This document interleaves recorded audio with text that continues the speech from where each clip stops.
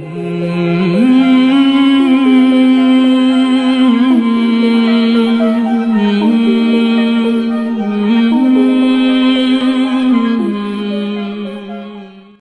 السلام علیکم ورحمۃ اللہ وبرکاتہ۔ ایک سوال ذہن میں پیدا ہوتا ہے کہ جب مکہ مکرمہ میں جس مقام پر کعبۃ اللہ ہے، وہاں پر تو بس ایک مٹی کا ٹیلا تھا۔ تو ابراہیم علیہ السلام کو کیسے پتا چلا کہ کہاں کھودنا ہے، کتنا کھودنا ہے، کس جگہ کھودنا ہے؟ اس سے متعلق ہمیں بعض روایات ملتی ہیں جو سیرت النبی کی کتابوں میں بھی آتی ہیں کہ جب اللہ تعالیٰ نے حضرت ابراہیم علیہ السلام کو حکم دیا کہ وہ کعبے کی تعمیر کریں اور ابراہیم علیہ السلام نے پوچھا کہ پروردگار، میں تیرا گھر کہاں بناؤں تو اللہ تعالیٰ نے ان سے فرمایا، وہ سکینت کے پیچھے جائیں، جو ایک ایسی بھاپ اور ہوا تھی جس کے انسان کے جیسا چہرہ تھا، اور اس بھاپ کو لٹورا نامی پرندہ جو ہے وہ لیڈ کر رہا تھا۔ تو اس کی لیڈ میں یہ بھاپ جا رہی تھی اور حضرت ابراہیم علیہ السلام اس بھاپ کو فالو کر رہے تھے۔ ابراہیم علیہ السلام اور اسماعیل علیہ السلام اس لٹورا پرندے کے پیچھے پیچھے چلنے لگے۔ اب آپ کہیں گے کہ یہ لٹورا پرندہ ہوتا کیا ہے؟ عربی میں نا اس کو سرد کہتے ہیں سعود رے، دال۔ آپ نے بعض لوگوں کا سیرت کی کتابوں میں یا تاریخ کی کتابوں میں سرد نام بھی سنا ہوگا۔ سرد ایکچولی ایک پرندہ ہوتا ہے جسے آپ انگلش میں شرائک کہتے ہیں۔ ایس ایچ آر آئی کے ای شرائک۔ چھوٹا سا پرندہ ہوتا ہے، بڑا خوبصورت خوبصورت پرندہ ہوتا ہے اور اس کی کئی اقسام ہوتی ہیں، کوئی ایک قسم بھی نہیں ہوتی شرائک کی۔ اگر آپ جا کے اس پہ اسٹڈی کریں تو آپ کو پتا چلے گا کہ it's a very very pretty bird مختلف قسم سے مختلف علاقوں میں مختلف قسم کی یہ برڈ ہوتی ہے۔ اور اس کے متعلق ایک بڑی امیزنگ بات یہ ہے کہ یہ اپنے چھوٹی سائز میں ہونے کے باوجود یہ شکار کرتی ہے چھوٹی برڈز کا۔ ریپٹائلز کا اسکارپینس لیزرڈز اس طرح کی چیزوں کا یہ شکار کرتی ہے۔ اچھا شکار کر کے یہ چیزوں کو اٹھا کے لے جاتی ہے خاص درخت پر جو کانٹے دار ہوتا ہے۔ اور اس کانٹے دار درخت میں یہ اپنے شکار کو ایسے پھنسا دیتی ہے جیسے آپ سیخ میں گوشت پروتے ہیں نا، ایسے پرو دیتی ہے۔ اور پھر پرونے کے بعد کھاتی ہے تاکہ اسے ہولڈ کر کے کھانا نہ پڑے۔ اللہ تعالیٰ نے اسے بڑی فہم دی ہے۔ اچھا پھر اس کے بعد کیا یہ ایک اور اس کے بارے میں سائنٹسٹ کہتے ہیں، جنہوں نے اس کے اوپر تحقیق کی ہے کہ جو سرد ہے شرائک یہ اپنی ایک پینٹری بھی بلڈ کرتی ہے باضابطہ، خاص درخت پر لے کے جاتی ہے جہاں پہ کانٹے ہوں، بڑے بڑے کانٹے ہوں، تاکہ جب اسے پروئے تو وہ اچھی طریقے سے اندر پر جائے اور ایک پینٹری سی بلڈ کرتی ہے کہ اس کے اندر کلیکٹ کرتی ہے فوڈ۔ ایسا نہیں کہ بس ایک دفعہ کھایا، چھوڑ دیا۔ اور اس سے پھر جب کبھی کوئی چیز نہ ملے تو پھر ادھر سے کھا لیتی ہے۔ یہاں تک کہ وہ چیز ڈیکے ہو کے ختم ہو جائے۔ اچھا پھر یہ ایک اور اس کے پاس ریزن ہے، جو میل ہوتے ہیں، وہ پینٹری بلڈ کرتے ہیں، مختلف انواع و اقسام کے ریپٹائلز کو یا چھوٹی برڈز کو لا کر اس میں لگاتے ہیں تاکہ فیمیلز کو اٹریکٹ کر سکیں۔ کہ میں اتنا جانباز، اتنا بہادر، اتنا عقل مند ہوں کہ میں نے اس اس انواع و اقسام کے جو ہے، وہ کھانے جمع کر کے رکھے ہیں۔ تو بہرحال، اللہ تعالیٰ نے اس برڈ کو ایک فہم دی ہے، ایک فراست دی ہے۔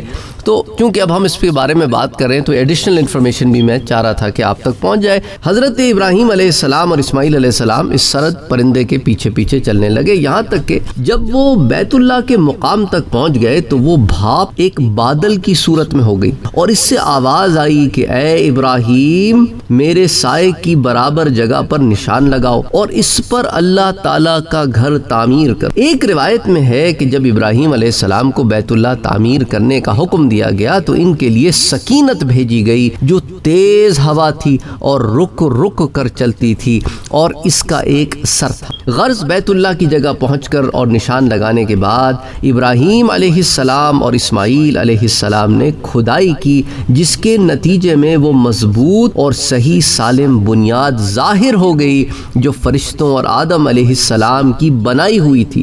اس کے بعد ابراہیم علیہ السلام نے تعمیر شروع کی اور اسماعیل علیہ السلام ان کو پتھر اٹھا اٹھا کر دیتے تھے، جو فرشتے لے لے کر آ رہے تھے۔ اللہ اکبر اللہ اکبر، غرض اس طرح بیت اللہ کی تعمیر اوپر اٹھنے لگی۔ ممکن ہے کہ جس وقت اللہ تعالیٰ نے ابراہیم علیہ السلام کے پاس بیت اللہ کی تعمیر کے لیے وہی بھیجی، اس وقت وہ اسماعیل علیہ السلام کے پاس مکے ہی میں ہوں۔ لیکن بیت اللہ کے مقام سے کافی دور ہوں اور یہ بھی ممکن ہے کہ یہ دونوں ہی اس وقت مکے میں نہ ہوں اور اس وحی کے بعد آئے ہوں۔ اللہ بہتر جانتا ہے کہ کیا معاملہ تھا۔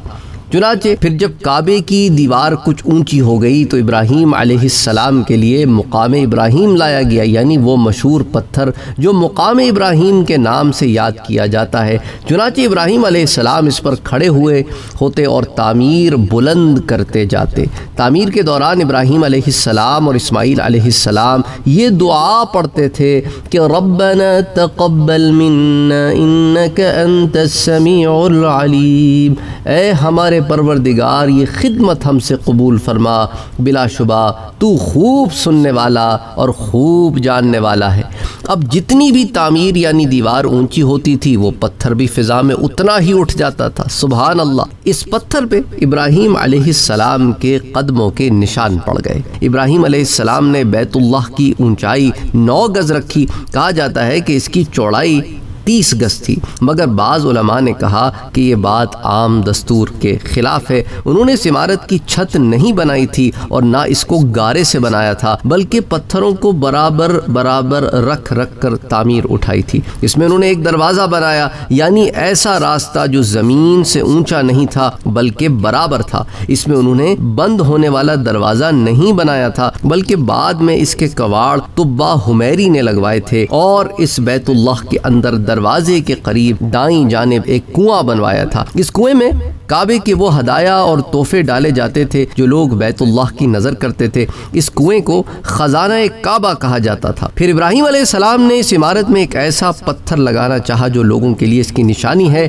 کہ یہاں سے طواف شروع ہوگا اور یہیں ختم ہوگا۔ چنانچہ اسماعیل علیہ السلام وادی میں پتھر تلاش کرنے کے لیے گئے۔ اس وقت جبرائیل علیہ السلام حجر اسود کو لے کر آئے۔ تو ابراہیم علیہ السلام نے اسماعیل علیہ السلام سے کہا تھا کہ بیٹے، مجھے ایک اچھا سا پتھر لا کر دو جسے میں اس جگہ لگا دوں۔ اسماعیل علیہ السلام نے ایک روایت میں آتا ہے کہ کہا بجان میں بہت تھک گیا ہوں یعنی کہ بعد میں چلے جاؤں گا۔ تو ابراہیم علیہ السلام نے کہا کہ اس کا لانا ضروری ہے۔ چنانچہ اسماعیل علیہ السلام ان کے لیے پتھر لانے کے واسطے روانہ ہوئے اور اسی وقت جبرائیل علیہ السلام وہ پتھر لے کر پہنچے جو آدم علیہ السلام جنت سے اپنے ساتھ لے کر آئے تھے۔ اور بعض نے یہ بھی کہا کہ ہندوستان سے وہ پتھر لے کر پہنچے جو آدم علیہ السلام اپنے ساتھ لے کر آئے تھے کہ ابراہیم علیہ آدم علیہ السلام کا نزول جو ہے وہ ہندوستان ہی کی زمین میں ہوا تھا۔ بہرحال یہ بھی کہا جاتا ہے کہ اس کو خود حضرت جبرائیل علیہ السلام نے دیوار میں نصب کیا تھا اور پھر اس کے اوپر ابراہیم علیہ السلام نے مزید دیوار اٹھائی تھی۔ اس کے بعد اسماعیل علیہ السلام وادی میں سے ایک پتھر لیے ہوئے پہنچے، مگر انہوں نے دیکھا کہ ابراہیم علیہ السلام حجر اسود کو نصب کر چکے ہیں یا اس کے اوپر مزید دیوار اٹھا چکے ہیں۔ اسماعیل علیہ السلام نے پوچھا، یہ پتھر کہاں سے آیا اور اسے کون لے کر آیا؟ ابراہیم علیہ السلام نے فرمایا، وہ جو مجھے تمہارا یا تمہارے پتھر کا محتاج نہیں بناتا اور ایک روایت میں الفاظ ہیں، میرے پاس یہ پتھر وہ لے کر آیا جو تم سے زیادہ چاق و چوبند ہے۔ تو بہرحال اس طرح حجر اسود اس مقام پر لگا جس مقام پر ابراہیم علیہ السلام نے اسے لگایا۔ اور ایک روایت میں الفاظ بھی آتے ہیں کہ اسماعیل علیہ السلام ایک پہاڑ سے ایک پتھر لے کر ابراہیم علیہ السلام کے پاس آئے، مگر ابراہیم علیہ السلام نے اس کو ناپسند کرتے ہوئے فرمایا کہ دوسرا لاؤ۔ اور اسی طرح وہ بار بار لوٹاتے رہے اور ان کے لائے ہوئے کسی پتھر کو انہوں نے پسند نہ فرمایا۔